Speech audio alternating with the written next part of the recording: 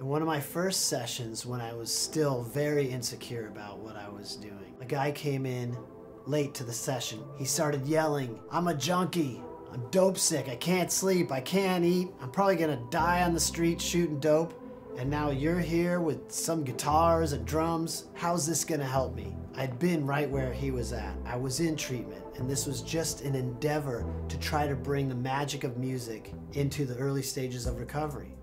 The song we were writing was about our addiction and our challenges with dope and booze and pills and all of that. And he started to listen and buy in. And the only instrument I had left was a little pink shaker. He started dancing and jumping around and he was like, dude, you're gonna be here next week, right? That was awesome. What I watched in that moment was a gentleman go from hopeless and suicidal to hopeful. And I watched his physical symptoms of being dope sick go away and I saw just how powerful music could be in this setting firsthand. After having a few sessions under my belt and feeling pretty good about it, I thought, can I scale it? Some of my dearest friends were musicians in recovery. Amazing musicians, giant hearts. Sonny Mayo was the first sober musician I ever knew. My friend Nate Lawler, Brandon Parkhurst, Brandon Jordan. And next thing you know, there's five of us.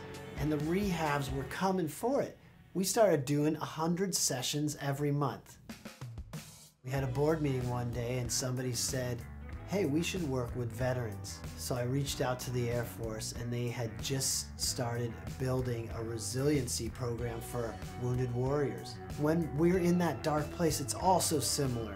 Feeling lost and alone and misunderstood and hopeless. And the way out is very much the same.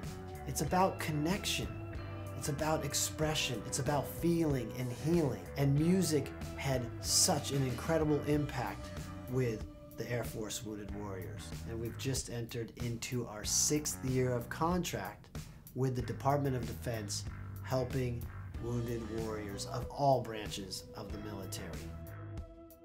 A couple years into Rock to Recovery, we decided to grow our fundraising efforts and start having a Rock to Recovery fundraiser event over half the crowd is in recovery. And they come to our concert and see how alive and bright and beautiful it is and how wonderful sobriety can be.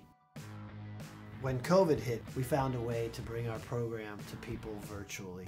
Our business actually started to increase. We could offer in-person and virtual sessions to all our many treatment partners. To date, we've written over 26,000 songs, working with well over 100,000 people, 200 treatment programs offering over 7,500 sessions every year.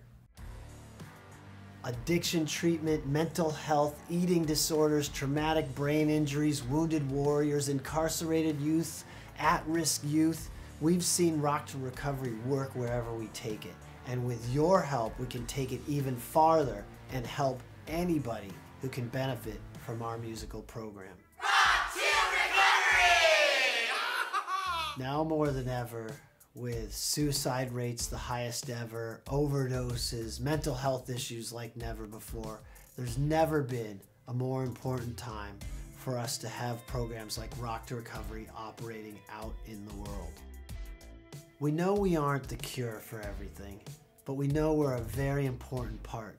When people come into treatment and they're new, it's as if their heart and their soul is encased in rock, calloused over by the pain and trauma and hurt they've experienced. And our music program helps to crack that open and show them that deep down inside, that happy, joyful, and free, playful, childlike spirit still exists. So as we roll into 12 12 22, 10 years of Rock to Recovery, I want to, from the bottom of my heart, thank everybody on the team, on the board, in the audience, all our supporters and donors for helping us do what we do in bringing the magic of music and healing to the people who need it. Rock to Recovery is all about music, and music is about connection, and connection is the answer.